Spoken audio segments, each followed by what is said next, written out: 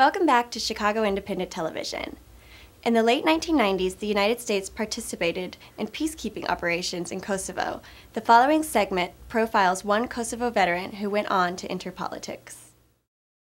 War is murder. War is destruction. And God is not on one side or the other. God is for life. And so we must take the position that we will end war. Each year, thousands of young people join the army in hopes of doing good, only to discover the harsh realities of war and injustice coming from the top down. Six years after that, I find myself still waging war on terrorism in the name of freedom and democracy. But in America. This is the story of one of those thousands.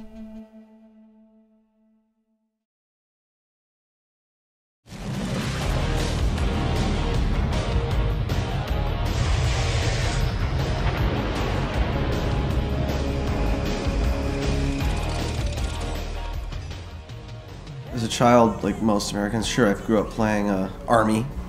I grew up with a sense of good and evil, and I guess I wanted to be on the, the good side of things, and I thought I could help serve good and people by uh, maybe pursuing a career in law enforcement.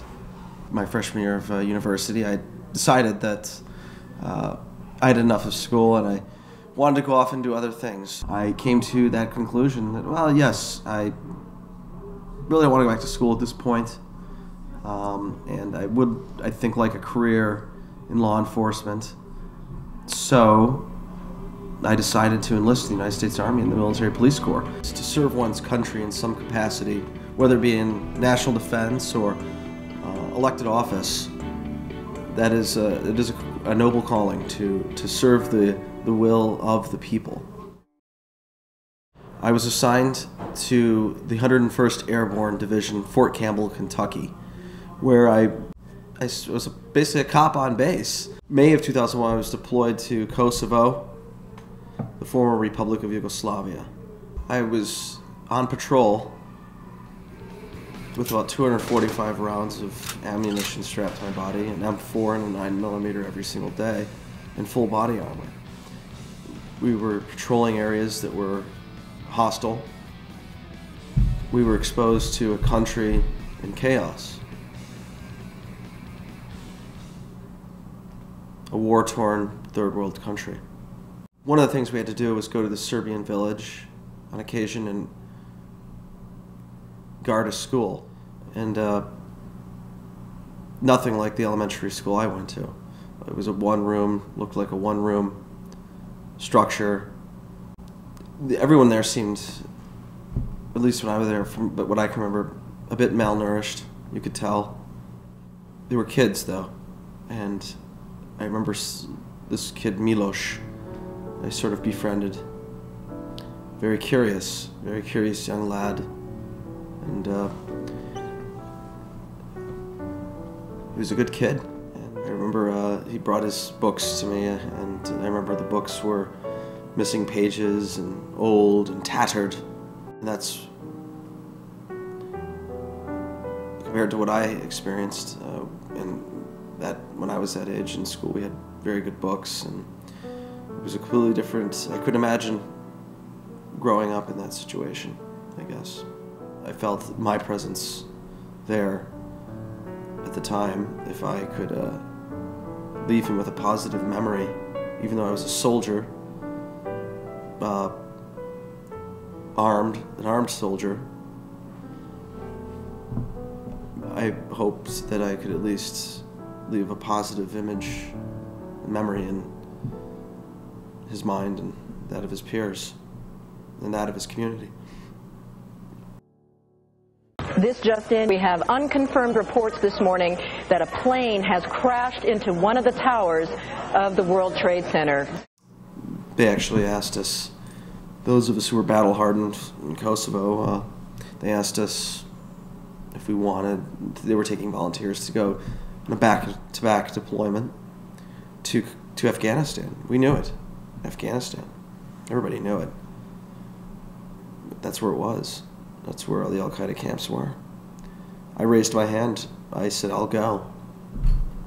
I'm not so sure. I'm, I'm torn between the whole eye for an eye thing.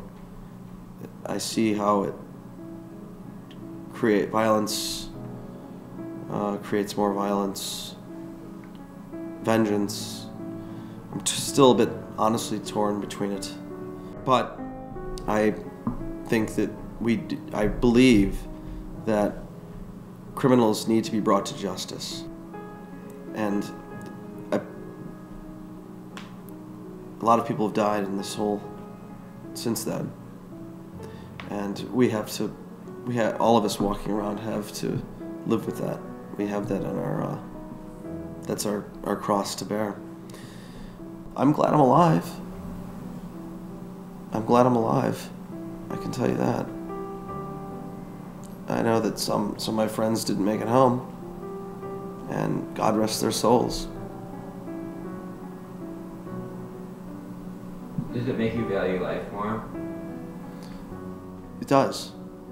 It does. It makes you value life more.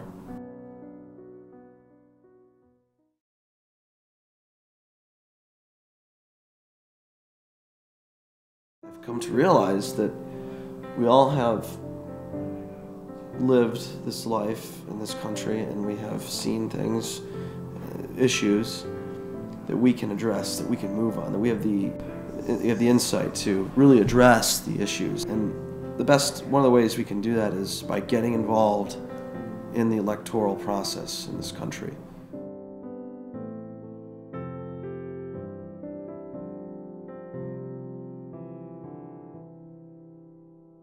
There it was. We did it.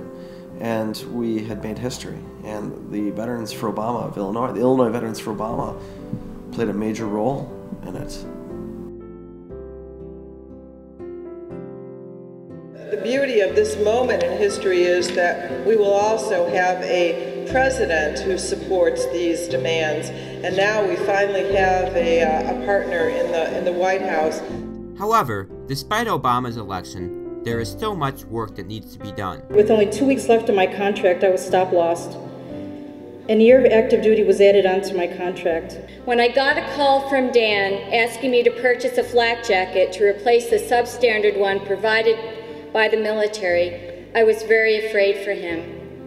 While working at the infamous Abu Ghraib prison, I had the opportunity to speak with an Iraqi detainee.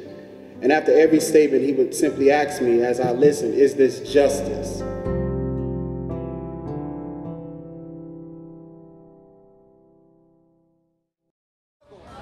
I'm Andy Thayer, and you're watching Chicago Independent Television. I see the soul of a nation. must be true, cause I've seen it on TV.